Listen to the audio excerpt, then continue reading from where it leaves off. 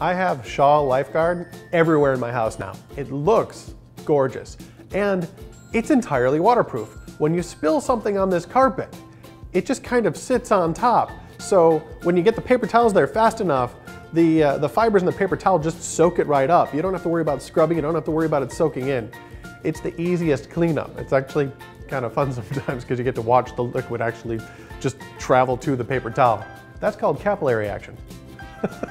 Would I recommend Shaw Lifeguard to other people? Absolutely. Um, if you've got kids or pets, you definitely need this carpet.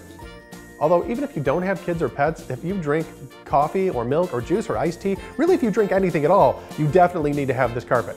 So that to everybody, yes, to everybody I would recommend, yes, get Shaw Lifeguard carpet, get it right away.